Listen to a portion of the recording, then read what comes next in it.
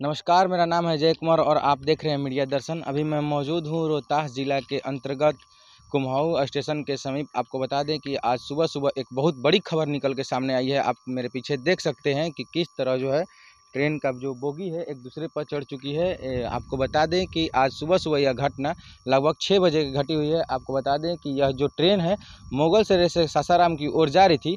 तभी यह घटना कुमऊ स्टेशन के समीप घटी है। आपको बता दें कि यह जो घटना है, लगभग बताया जा रहा है कि एक्सल टूटने के कारण हुआ है, लेकिन अब तक इसकी अधिकारी जो है पुष्टि नहीं कर पाए हैं। आपको बता दें कि यहाँ जो अधिकारी भी आ चुके हैं, जाँच कर रहे हैं, जाँच टीम आई हुई है, जाँच कर रही है, और स्थानीय पुलिस प्रशासन भी यहाँ आई है, और लोगों को लोगों की मदद से जो है लोगों को यहाँ जो ग्रामीण हैं, उनको हटाया जा रहा है। आपको बता दें कि बाहरी टीम आकर इस ट्रेन की जो है जाँच कर रही है कि यह घटना कैसे घटी हुई है, अब तक यह भी नहीं पता चला है कि यह घटना किस कारण घटी हुई है, आपको बता दें कि यह जो लाइन्स हैं, वो सभी तरह, पूरी तरह से क्षतिग्रस्त हो गया है, जिससे ट्रेन का जो आवागमन है, वो बंद हो चुका है क्षतिग्रस्त होने के कारण। इससे आपको बता दें कि यात्रियों को भी काफ़ी परेशानियों का सामना करना पड़ेगा।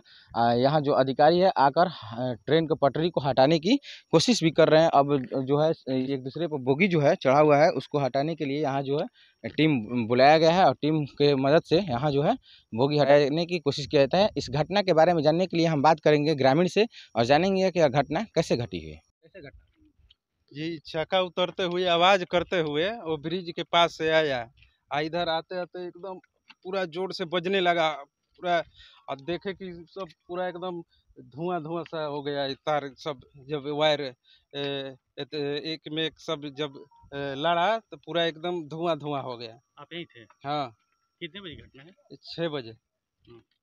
क्या नाम है आपका? बलजीत सिंह।